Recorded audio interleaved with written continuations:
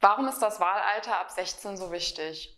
Ganz einfach, weil die 16- bis 18-Jährigen einen großen Teil unserer Gesellschaft abbilden. Und sie haben genauso wie wir das Recht darauf, ihre Meinung kundzutun und Verantwortung zu übernehmen. Immer wieder wird der Jugend vorgeworfen, sie sei unpolitisch. Aber zeigen uns nicht die letzten Monate, dass genau das Gegenteil der Fall ist? Dass die Jugendlichen immer mehr auf die Straße gehen, sich interessieren und engagieren für politische Themen, für ihre Zukunft, für unsere Zukunft.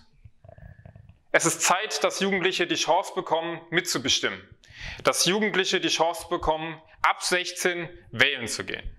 Warum ein Wahlalter ab 16? Ich finde, die eigentliche Frage sollte lauten, warum denn nicht? Wir leben in einer Gesellschaft, die immer älter wird. Das heißt, immer mehr ältere Menschen bestimmen über unsere Zukunft. Es sind aber gerade die Jugendlichen, die jungen Erwachsenen ab 16, die auch noch in 60, 70, 80 Jahren auf dieser Erde leben. Und deswegen sollten wir diesen jungen, erwachsenen Menschen ab 16 Jahren eine wirkliche Stimme geben.